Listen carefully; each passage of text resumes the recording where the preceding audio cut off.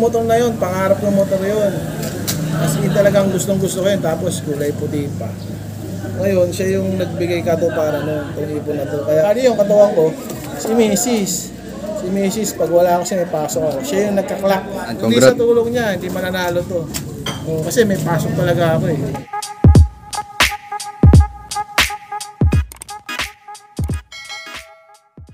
Ito mga kalapatids, may ipapakita pa si Boss JP na kanyang magaling na ibon. Ito nga pala si ano, si Okada.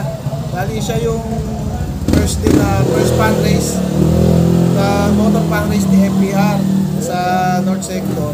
Siya yung nanalo ng motor. Ito mga kalapatids, so. Bali ano siya, Alphonse. Pasok siya ng Alphonse. Anong mga speeda nan sir?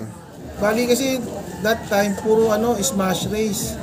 Kaya ang mga speed niya 1,000. Pero isa lang yung 900 niya yung pinakahuli. O kahit, kahit smash, nag-iisang libo speed nan sir. Oo, si Okada. Bali sa mga area, nag-per siya, first overall siya doon. Ang dami ring hinakot na ito sa pooling. Kasi talagang makunat. Pag sinabi mo yung si Okada. Dito, kilala rin siya sa ano, ng mga area.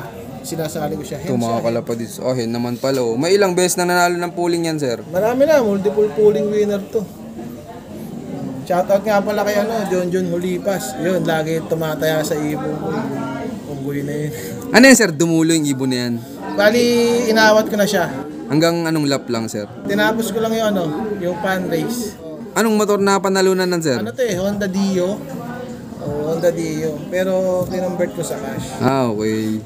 Bali yung istorya na ito, second lap sa overallan, pang ano siya, ah, pang 19.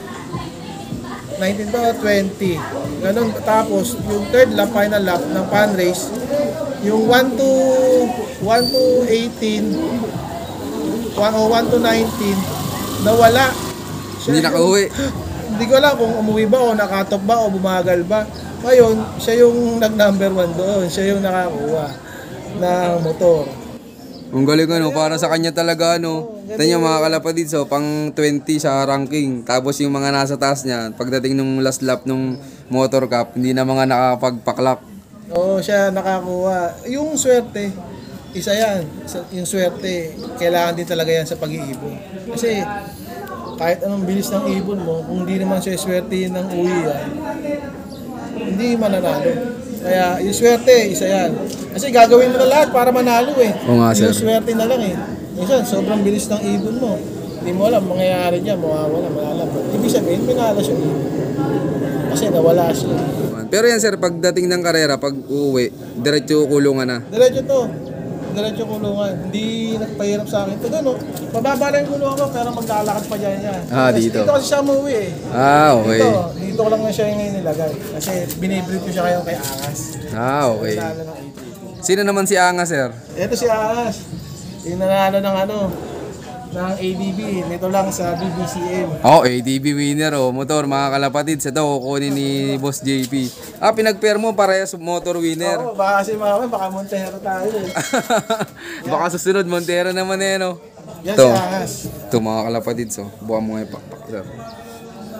Lalakapad din ng pakpak, sir, ano? Oh. Yan, 1267. Bali yung bird siya. Ah, hindi tayo nag-ano eh, yung nagluluma, laging bago yung ibon natin pag sa pooling. Tulad nito, tsaka si Siga, bago sila. Eh, ngayon, second lap, buti nga nadali ko na yung ano eh, yung first lap eh, nanalo eh. Tapos yung second lap, nakatop sila eh. So, ipitin ko sila kasi pick na, hindi na maganda yung balahibo. Ah, doon mo tinitingnan kung pick na sa Oo, balayibo. malapit na. Oh. Ngayon, yan, tulad niyan, ibibreed ko lang din sila. Pusa na sila. Kamusta naman yan, sir, nung kinakarera mo? Ilang laps pala yon yung sa ADB na Motor Cup? Bali ano yun eh, five, limang laps. Mula umpisa nun Mongkada hanggang sa first lap ng BBC. So ito yung katandem ni Sigat. Ano, 7 weeks din siya nanalo. Dalawa sila. Pwes nila lagi, 1, 2, kaya 2, 3. Tapos tag team. Yan, hindi nga lang siya off-roader, kaya hindi siya. Sa mga winner take all, tinataya ng mga co-or, shoutout sa mga co-or na tumataya sa ibon. Ah, pati Coor, tumataya dyan. Oo. Pero nagpapaalam naman sila. Ah. Pero minsan iba hindi nagpapaalam eh. Magugulat ka na lang, sir. Tayo nagugulat ako eh. Sir, ilan pa lang ibon yung naglaban-laban nung sa ADB Motor Cup? Madami, madaming sumali kasi first fan race eh, motor fan race ng BBC Manila. Halos 1,000 din yung sumali sa ano. Tapos, yung ano, meron silang ano eh, category dati, ABC, kung tawagin, magkakasama area doon. Nung wala na yon siya yung nag ano, nag-lap winner. Nag-lap winner siya doon eh. Si Anga, siya yung nag-lap winner noon, number one siya. Ilan, ilan naglaban doon? Libo rin. So ayan, pick na siya eh. oh. Kahit ng. Pero nung umuwi siya, nung cut-off, maganda yung katawan niya. Bali, ayun niya pa, ay napalarunan niya Ayun mga kalapatid, so panis, nakuha na yung ADB. Bali, yung motor na yun, pangarap ng motor yun. Kasi talagang gustong gusto ko yun, tapos kulay puti pa. Ngayon, siya yung nagbigay katuparan nun, itong ipon na to. Kaya ngayon, hindi ko na siya ikakarga. Pero ilalaban ko pa rin siya ng pooling. Susubukan natin siya sa south. Kung mabalay, mabilis, di ba? Yun, kukondisyon lang ulit natin siya. Tapos, training. Pero ngayon, may training na ang south. Hindi pa ako nagkakarga. Tsaka hindi rin kasi ako nagkakarga ng kanan. Yung mga pa- parting ano, pililya. Hindi ako nagkakarga yan eh. Kakarga ako yan, mga Laguna na. Sa may Batangas, yung Patagig. Ah. Diretso. Pero may self-toast na yun sa'yo. Bali, nagkatrabaho ako sa Okada eh.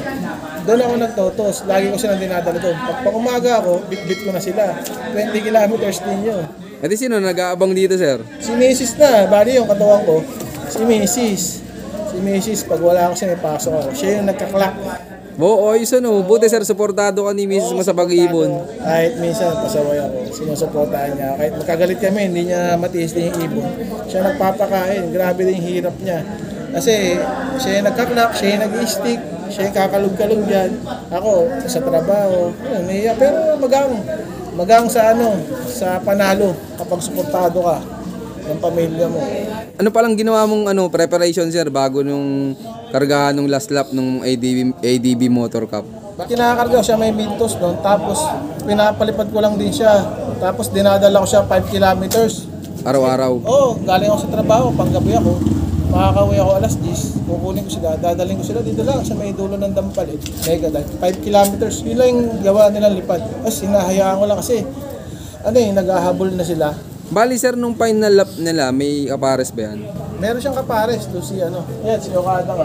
Ah, simulat sa pool, may kapares. Oo, may unang itlog pa nga yan eh. Tapos, tinanggal ko lang eh. Tinanggal ko lang yung, ano eh, yung itlog. Kasi, gusto ko maghabol ulit siya.